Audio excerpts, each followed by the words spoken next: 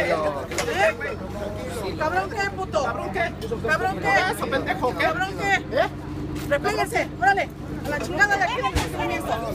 A la chingada del fraccionamiento. Se sienten muy cabrones. Se sienten muy cabrones. Mames, te está tocando Órale. Es que no, mamador. Por eso sácalos ustedes.